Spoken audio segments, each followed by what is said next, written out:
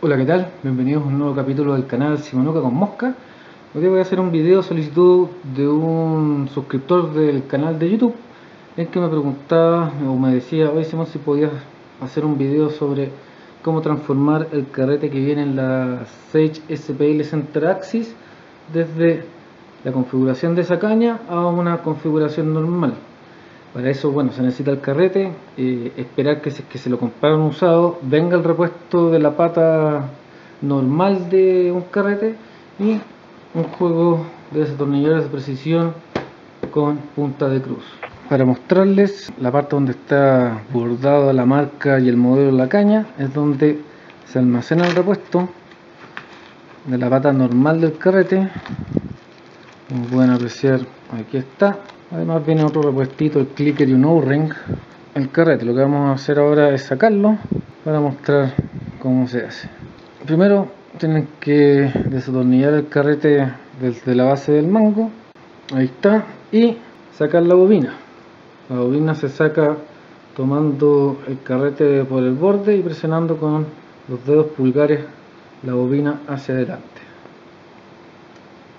Si fijan ahí salió como pueden ver ahí están los tornillos de cruz y lo que uno hace es desatornillar ahí y presentar la patita con la salvedad que la patita no se atornilla en el mismo lugar de este adaptador que va a la caña center axis sino que se desplaza al centro del carrete y se atornilla en estos dos puntos.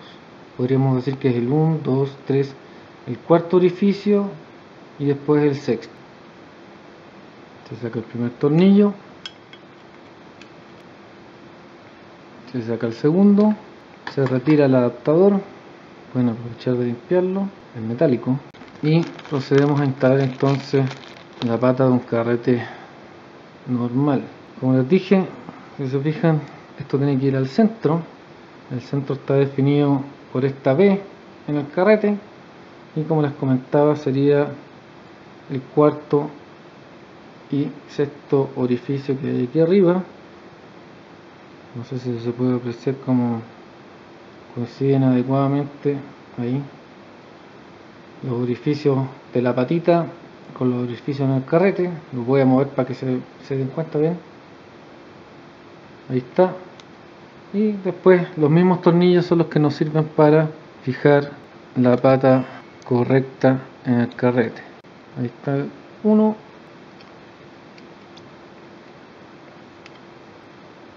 Después colocan la bobina de vuelta y tienen un sage para utilizar en cualquier otra caña ultra liviana que tengan en versiones del 0 al 3 además y para aprovechar que el, el video que estoy haciendo quiero comentarles que para las personas que son que recogen con la otra mano la operación es similar al cambio de la patita pero en esta ocasión cierto yo recojo con la mano izquierda y por lo tanto este adaptador está a la izquierda. Sin embargo también se puede colocar al otro lado para recoger con la derecha.